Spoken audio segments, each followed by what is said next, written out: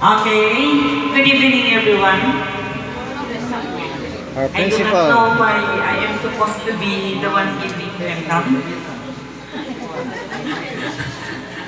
I, I suppose Families Noel should be the one giving the welcome because uh, he is because he is the one hosting the affair.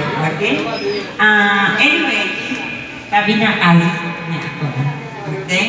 So, I am just speaking, welcoming welcoming the group on behalf of Batch 77. Um, welcome, of course. Time flies very fast. We are about to be senior citizens. Ci- we are now, only that.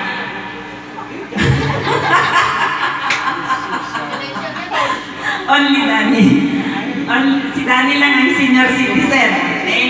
Now, I'm happy to see everyone, most especially my batchmates here. Danny, Beth, Sunny, Aline, uh,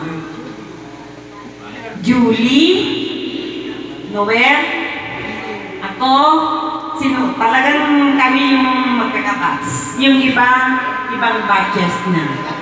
Okay, ibang batches na. So anyway, thank you for joining us for the reunion. Let us make our reunion happy. So, as I was seated a while back there, Danny came to me and was suggesting something that we are supposed to, to do. tonight, not just having Ako the funny time, but he was suggesting that we should plan. We should plan for anything that will benefit our alma mater. Yun yung sabi niya. Ah, ako naman, Di pa nang ikas din mo, pindot mo dyan side na. I am not an officer. Hindi ako officer. So I am suggesting Danilo. Danilo, listen to me. Please gather the officers here now.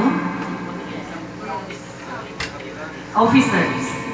Okay, so maganda yung suggestion mo para naman may kabuluhan ang pagtitipon natin dito sa gabing ito so that we will plan as to whatever we can do for the improvement of our alma mater.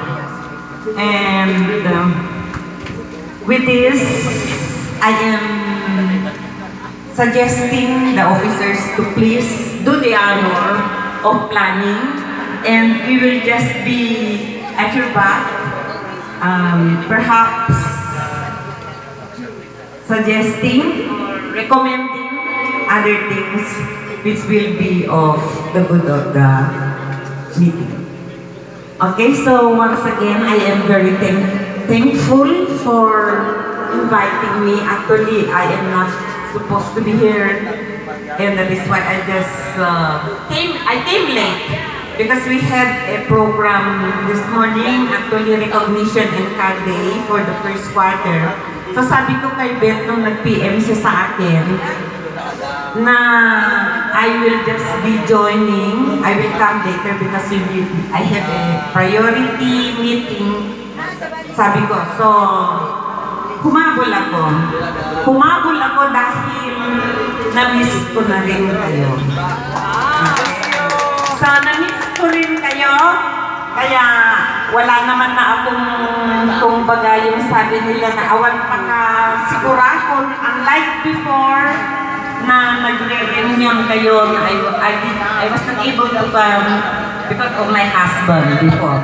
Pero ngayon na wala naman na, so there is no reason that I will not be joining you. I will always be joining you because may istorya. Ah, kami, kami yung pioneer. So we should always be there for you. Okay, so good evening and once again, welcome everyone. Let's enjoy the night. Thank you very much, Madam. The next part of the program is really